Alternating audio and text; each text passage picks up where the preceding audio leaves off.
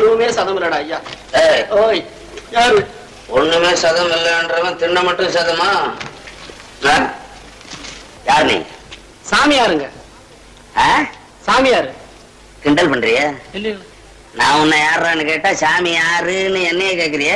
வந்து இது நான் சன்னியாசிங்க. முதல்ல சொன்னது? அது சன்னியாசிங்களுக்கு பெரியவங்க வச்ச மாத்து பேர் சாமி யாருன்னு சாமி யாருன்னு ஏன் வச்சாங்க? அதான் சாமி யாருன்னு ஜனங்களுக்கெல்லாம் எடுத்து சொல்றதுக்காக வேண்டி. யாரு சாமி? சொல்லு பாப்போம். அட கடவுள் இப்ப நான் என்ன பதில் சொல்றது? சொல்லட்டுங்களா? சொல்லு. கிருஷ்ணர் முருகர் பரமசிவர். இதெல்லாம் எங்க அப்பா அம்மா சொல்லியிருக்காங்க. அப்போ சாமி யாருன்னு தேடுற? ஆமாங்க. நீ ஒண்ணு தேட வேணாம்.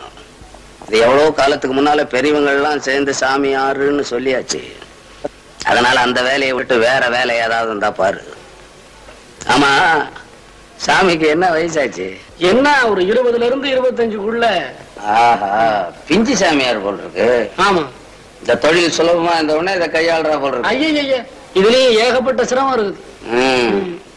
இதுக்கெல்லாம் வயசு படிப்பு நல்ல எண்ணம் யோகிதை எல்லாம் வேணும்னு பெரியவங்களே சொல்லி இருக்கிறாங்க.